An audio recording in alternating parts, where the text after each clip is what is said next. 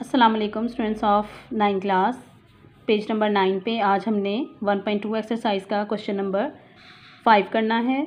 Find the transpose of each of the following matrices यहाँ पे हमें मैट्रिसेस गिवन है और हमने इनका ट्रांसपोज फाइंड करना है. अपनी कॉपीज़ पे सॉल्व करते हुए आप सबसे पहले एक्सरसाइज और क्वेश्चन लिखने के बाद ए मैट्रिक्स लिखोगे. इसमें हमें गिवन है ओनली वन कॉलम हमने ए के ऊपर टी लिखना है।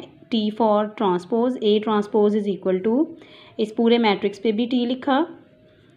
हमने ट्रांसपोज की डेफिनेशन पढ़ी थी कि रोज़ को कॉलम्स में और कॉलम्स को रोज़ में चेंज कर देने को ट्रांसपोज कहते हैं।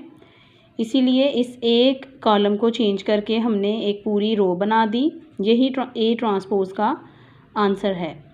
नेक्स्ट हमें मैट्रिक्स गिवन है B five one minus six इसमें सिर्फ़ एक ही रो है।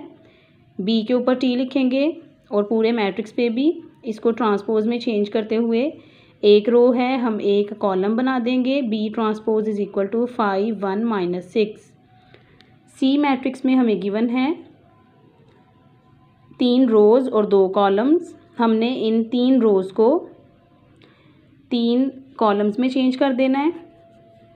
C transpose is equal to इसके ऊपर टी लिखा। वन, टू जो पहली रो है, उसका पहला कॉलम वन, टू बना लिया। टू माइनस वन है, टू माइनस वन दूसरा कॉलम बन गया। थ्री एंड ज़ीरो लास्ट वाली रो है थ्री और ज़ीरो को भी तीसरा हमने कॉलम बना लिया। C transpose is equal to three two three columns अब इसमें बन गए और टू रोज़ बन गई। डी ट्रांसपोज करते हुए हमें डी एक स्क्वेयर मैट्रिक्स गिवन है, जिसमें दो रोज़ और दो कॉलम्स हैं। जब भी आपको कोई स्क्वायर मैट्रिक्स गिवन हो और उसका ट्रांसपोज फाइंड करना हो तो आपने याद रखना है, इसकी सिर्फ़ सेकंड डायगनल की एंट्रीज़ को चेंज कर देने से ही डी ट्रांसपोज बन जाएगा।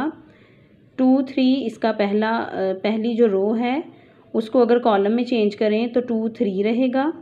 ज़ीरो फाइव दूसरी रो है, इसका कॉलम ज़ीरो फाइव बना। तो आप अगर इसमें गौर करें तो सिर्फ़ थ्री और ज़ीरो की ही प्लेस चेंज हुई है। बाकी टू और फाइव वही हैं। तो स्क्वेयर मैट्रिक्स का ट्रांसपोज लेते हुए सिर्फ़ इन दोनों एंट्रीज़ के जगह बदल देने से भी डी ट्रांसपोज बन गया।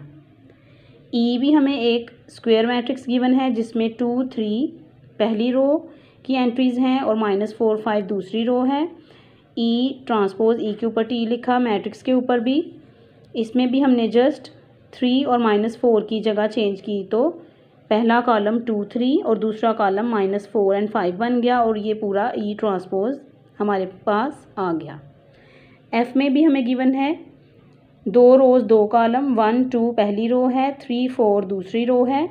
इसमें भी सिर्फ़ टू और थ्री की जगह चेंज करने से हमारे पास दो रोज़ और दो कॉलम बन गए।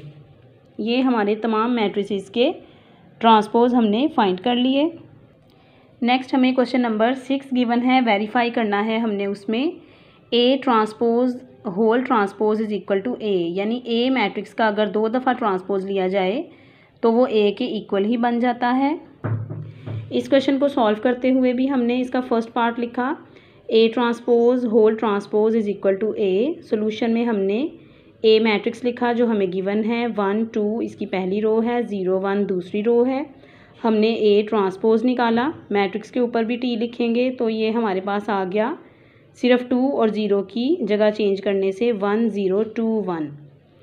दोबारा से अगर हम इसका ट्रांसपोज लें ए ट्रांसपोज ब्रैकेट लगाकर अगेन ऊपर टी लिखा, मैट्रिक्स पे भी, और इस मैट्रिक्स का दोबारा से ट्रांसपोज लेने की वजह से टू और ज़ीरो की दोबारा जगह चेंज हुई। वन, टू, पहली रो, ज़ीरो, वन, दूसरी रो बन गई।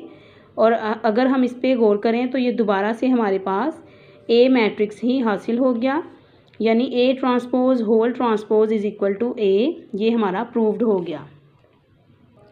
नाइन्थ क्लास इस क्वेश्चन का सेकंड पार्ट इसी तरह B transpose whole transpose is equal to B आप खुद करेंगे। इंशाल्लाह आगे हम कल काम करेंगे। ओके स्टूडेंट्स अल्लाह हाफिज़।